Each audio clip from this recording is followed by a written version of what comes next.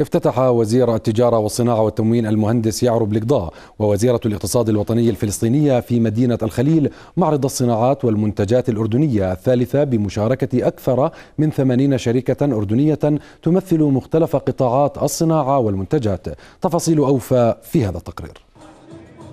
للعام الثالث على التوالي يأتي معرض الصناعات والمنتجات الأردنية في فلسطين على طريق تعميق العلاقة الاقتصادية بين البلدين الشقيقين وفي إطار رفع نسبة التبادل التجاري والاقتصادي بينهما. أهمية هذا المعرض لبناء جسور اقتصادية حقيقية بين مجتمعي الأعمال بالبلدين.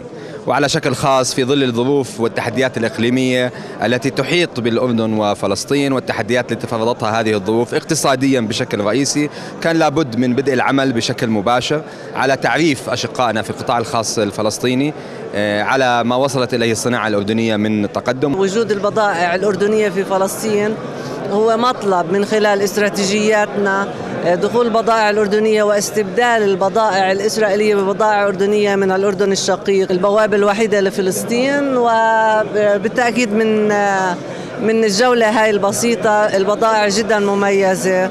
ومنافسة وإن شاء الله يكون لها فرص كتير كبيرة بسوقنا الفلسطيني أكثر من 80 شركة أردنية تشارك في المعرض لهذا العام.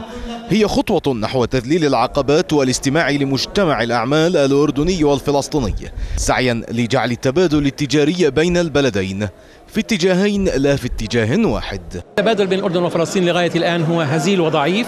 نتيجة المعيقات الموجودة وخاصة معيقات المعابر وأيضا ارتفاع سعر أو تكلفة الشحن. نحن في غلاف مالي وجمركي واحد مع إسرائيل.